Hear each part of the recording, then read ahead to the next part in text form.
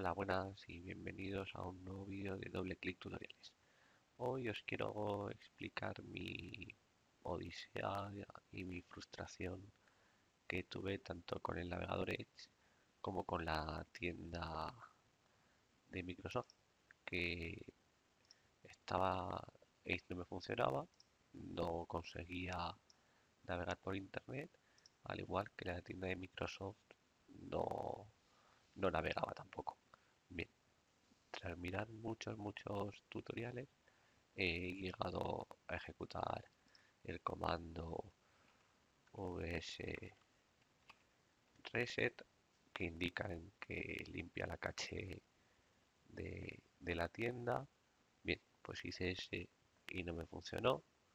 Luego había otro en el que habla de que tenemos que tener bien configurado la región y el país, que en mi caso también lo tenía.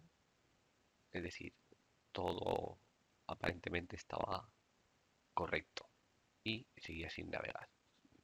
Con cualquier otro navegador, como por ejemplo Google Chrome, funciona sin, sin problemas. Eh, como podréis ver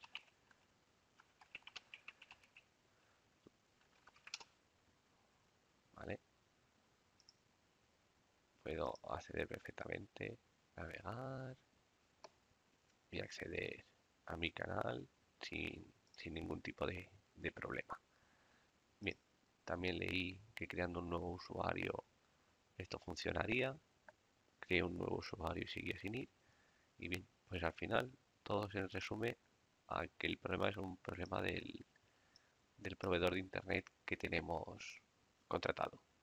Es decir, yo tengo mi conexión wifi actualmente conectada y configurada por DHCP. Pues bien, por lo visto, las DNS que me ofrece el router no son buenas. Por lo que lo que tenemos que hacer para solucionar el problema de forma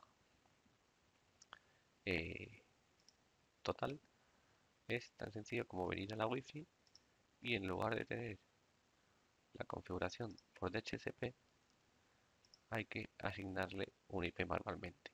Bien, si no lo sabéis, por ejemplo, si cmd y con el comando ipconfig, pues actualmente vemos que tenemos esta configuración IP.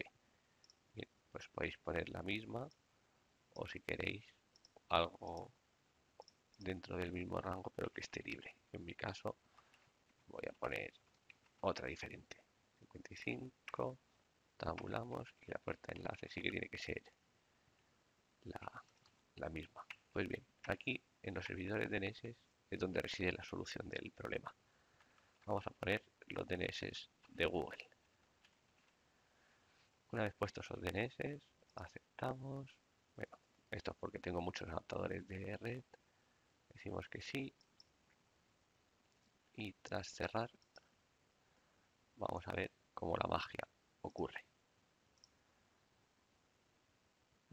ya tengo internet y si damos a actualizar la tienda funciona y voilà este es el magnífico truco y solución definitiva para que funcione la tienda y Edge nuestro proveedor de internet que es el que está causando todos los problemas no el ordenador. Y nada, hasta aquí el tutorial de hoy.